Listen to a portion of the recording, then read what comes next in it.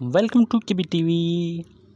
Today, a moderate magnitude 5.2 earthquake was occurred in Philippines on today, 15 August 2022.